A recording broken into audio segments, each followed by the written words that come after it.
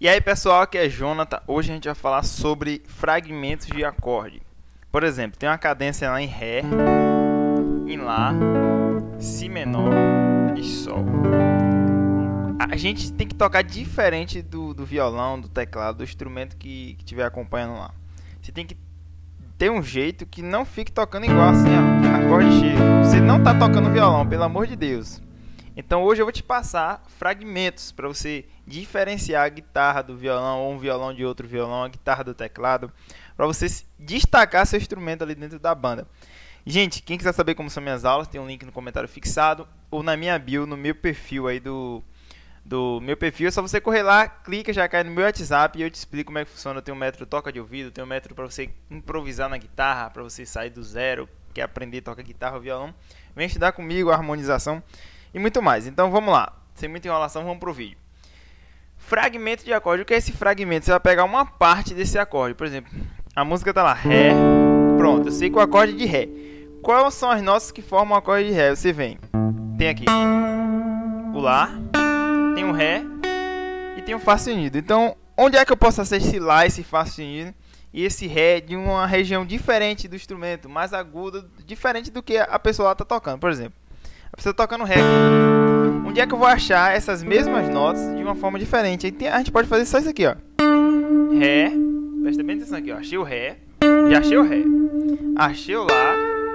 Se eu quiser, eu não preciso nem botar o Fá sustenido. Eu posso fazer o mesmo Ré de novo aqui, ó. Só o Ré e o Lá. Só isso. Isso aqui já substituiria o Ré, ó. Só isso, gente, ó. Depois a música vai para um Lá.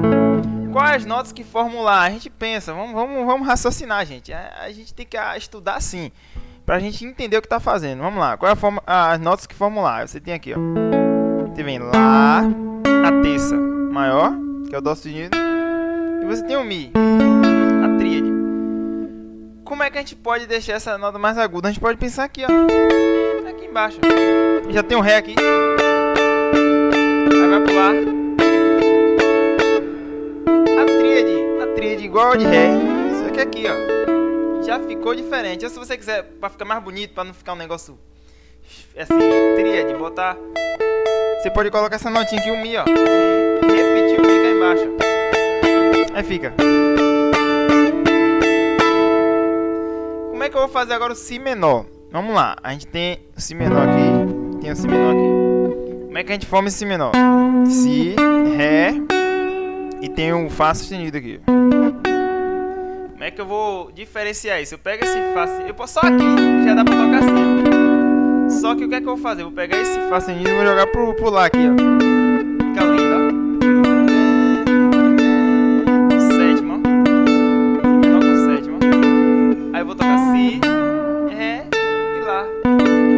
Então ficou. Agora o sol, gente. O sol a gente vai fazer assim, ó. Presta bem atenção. Olha que sol lindo, gente, ó. Vai pegar o Ré que tá aqui. Vai fazer uma pestaninha aqui na casa na casa 2. Coloca a notinha Ré e coloca o Sol. Aí fica um Sol com nona.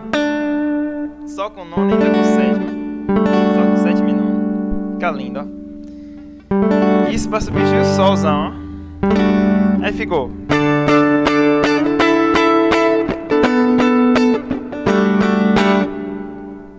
Quiser deixar esse sol mais agudo, você pode fazer isso aqui, ó.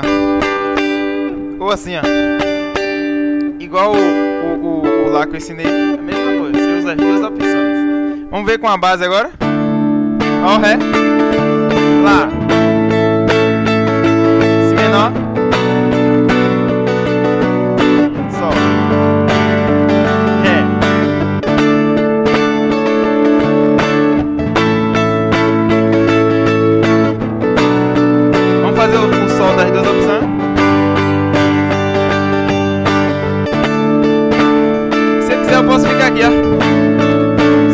Brincadeira. A música inteira.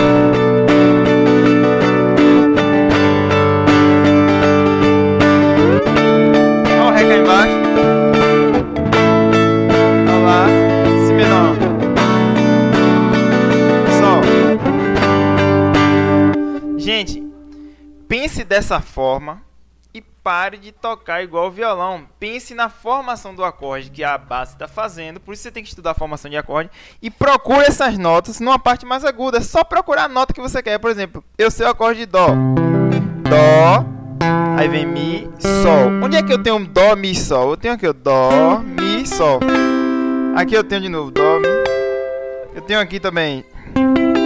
Então começa a procurar essas notas no braço de uma parte mais aguda e use sua criatividade. É assim que os grandes guitarristas fazem para estar tá tocando o chip, tocando outros estilos, para estar tá se diferenciando na hora de destacar sua guitarra na banda. Se você ficar tocando igual violão, igual teclado, tudo cheio, tocando baixo e tudo, vai embolar tudo aí, você não vai ter um destaque na banda, vai parecer que você está tocando violão. Então essa é mais uma aula para você aí, que Deus abençoe sua vida.